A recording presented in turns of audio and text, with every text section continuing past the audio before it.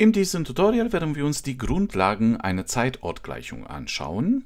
Das bedeutet den Aufbau und die Eigenschaften, die diese besondere Geraden mit sich bringen.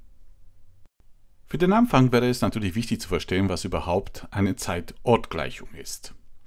Wenn nicht überraschend, ist wahrscheinlich die Tatsache, dass es eine Geradengleichung ist.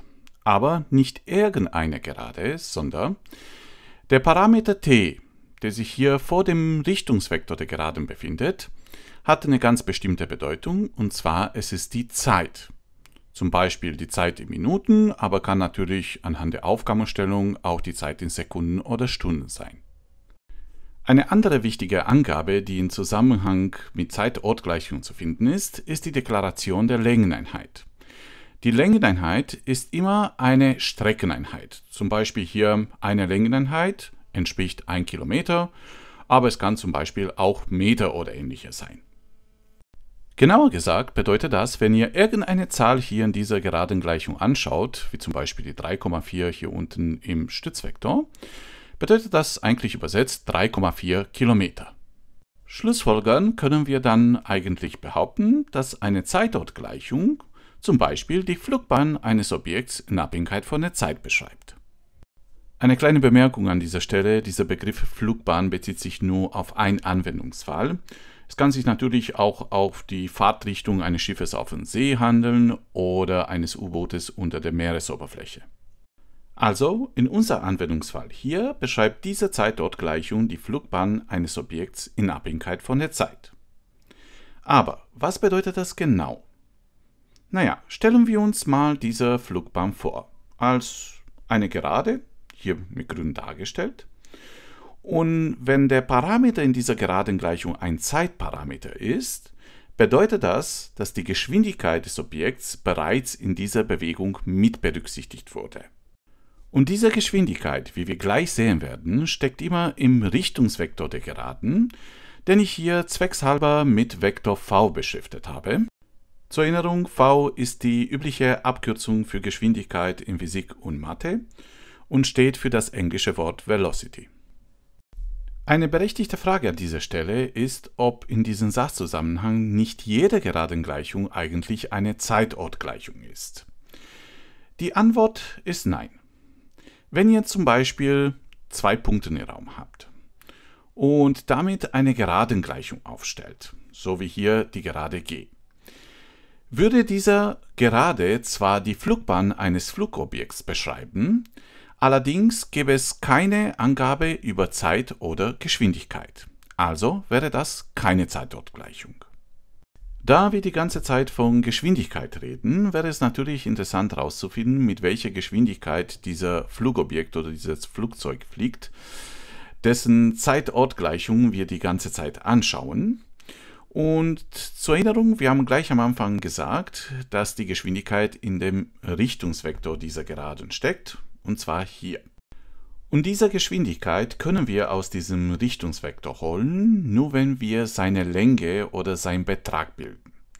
Also die Geschwindigkeit ist bei einer Zeitortgleichung immer die Länge des Richtungsvektors. Zur Erinnerung, die Länge eines Vektors berechnet man immer mit der Wurzel aus der Summe der Quadrate der einzelnen Koordinaten. Und bevor wir jetzt diese Zahlen Taschenrechner eintippen das Ergebnis hinschreiben, sollten wir uns Gedanken über die Einheit dieser Geschwindigkeit machen. Zur Erinnerung, bei uns war t die Zeit in Minuten und eine Länge, Längeneinheit entsprach einen Kilometer. Aus dem Physikunterricht sollte euch noch bekannt vorkommen, dass Geschwindigkeit v immer Strecke durch Zeit ist, also hier wie rechts eingeblendet, v ist gleich s durch t. Und das bedeutet für uns, unsere Geschwindigkeit beträgt dann 12,65 Kilometer pro Minute. Kleinen Hinweis noch an dieser Stelle, welche Einheit die Geschwindigkeit hat, hängt natürlich von der Aufgabenstellung ab. Es könnten wie hier Kilometer pro Minute sein, aber es können auch Kilometer pro Stunde sein oder Meter pro Sekunde. Nur mal so am Rande, wenn man diese 12,65 Kilometer pro Minute im Kilometer pro Stunde umwandeln oder umformen würde, also mal 60 nehmen, kommen dann ungefähr 760 Kilometer pro Stunde raus, was ungefähr der normalen Geschwindigkeit eines Passagierflugzeugs entspricht. Neben der Geschwindigkeit hat unsere Zeitortgleichung allerdings noch zwei, drei einfache Eigenschaften, die wir jetzt auch noch erwähnen sollten. Und zwar in erster Reihe wäre natürlich interessant zu wissen, wo sich das Flugzeug zu Zeitpunkt t gleich 0 befindet. Naja, das ist eine einfache Sache. Wie ihr euch wahrscheinlich schon vorstellen könnt, setzt man einfach oben in die Geradengleichung für t eine 0 ein. Und wenn man das unten zusammenfassen tut, dann bleibt ja nur noch der Stützvektor übrig, was man auch als Punkt P, also als Position des Flugzeugs zu Zeitpunkt t gleich 0 angeben kann. Eine weitere Fragestellung, die auch indirekt mit der Position des Flugzeugs zu Zeitpunkt äh, t gleich 0 zu tun hat, wäre, in welcher Höhe befindet sich das Flugzeug zu Zeitpunkt t gleich 0? Um das Ganze sich besser vorstellen zu können, werden wir jetzt diese Flugbahn in ein Koordinatsystem grob eintragen. Also hier rechts unten haben wir ein dreidimensionales Koordinatensystem und die Flugbahn können wir uns als diese grüne Gerade G vorstellen.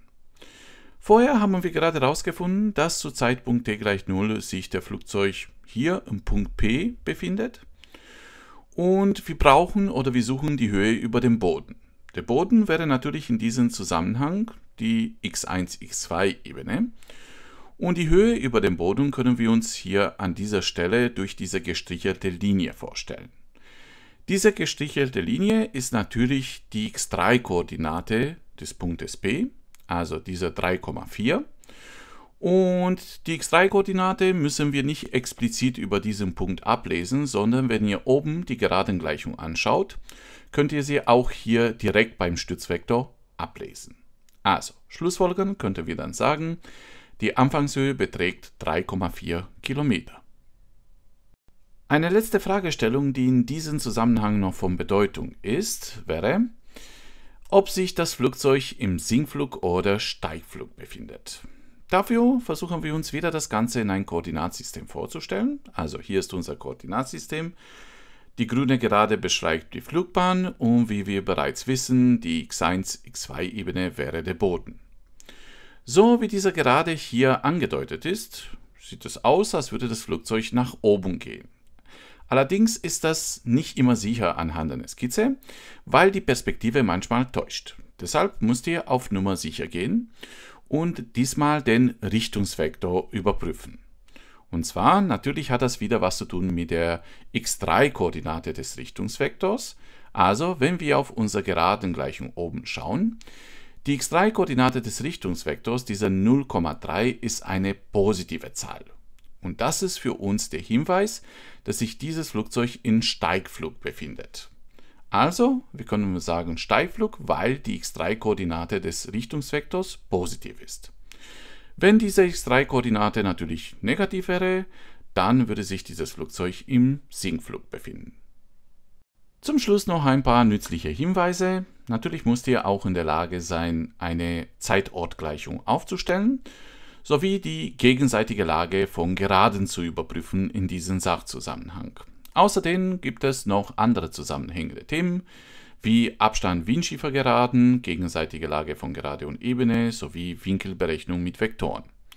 Wenn Bedarf, Tutorials zu all diese Themen findet ihr gleich im Abspann.